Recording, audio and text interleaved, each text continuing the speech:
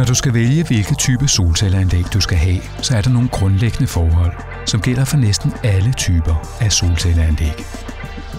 Kvaliteten af solcellepaneler afhænger i høj grad af kvaliteten af de komponenter, panelerne er sammensat af.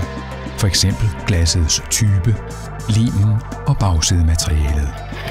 Erfaringer viser, at 9 ud af 10 fejl på solcelleanlæg skyldes fejl i dimensioneringen og montagen af anlægget. Og det er derfor vigtigt, at leverandøren har erfaring på dette område. Rent visuelt kan der være forskel fra producent til producent, og sorte celler er ikke altid helt sorte, men kan variere over mod mørkeblå. Som det ofte er tilfældet, er der en sammenhæng mellem pris og kvalitet. Dyrere anlæg vil typisk have bedre kvalitet og være pænere på taget.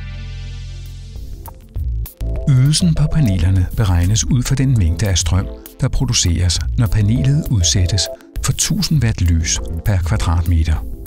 Det kaldes kilowatt peak. Samtidig vil kvalitetsanlæg have en ydelsesgaranti.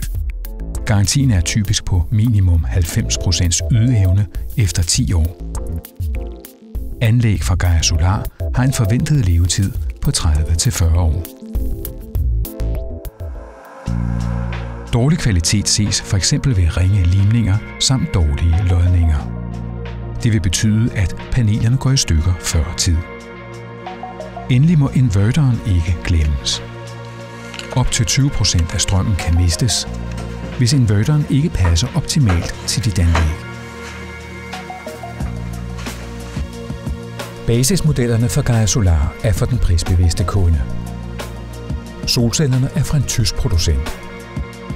Producenten er valgt på baggrund af kvalitet, design og socialt ansvar i produktionen. Panelerne fås med både blå og sorte celler og er nydeligt produceret, dog uden samme finesser som i de dyrere serier. Designline er små, eksklusive danskproducerede solcellepaneler, produceret af Gaia Solar. Det er elegante, kvadratiske og rammeløse paneler. Panelernes fleksible design giver dig mulighed for at tilpasse dit anlæg, så det præcis passer til dit hus. Designet og monteringen giver et luftigt udtryk, og anlægget fremstår diskret og elegant. Lodningerne er naturligvis skjult. Fås også som trekantspaneler. I forbindelse med nybyggeri vil et integralegnanlæg være det naturlige valg. Anlægget indgår som egentlige tagelementer og integreres 100% i taget. Dermed kommer anlægget i niveau med resten af taget og giver et stilsikkert udtryk. Solcellerne er produceret af Gaia Solar.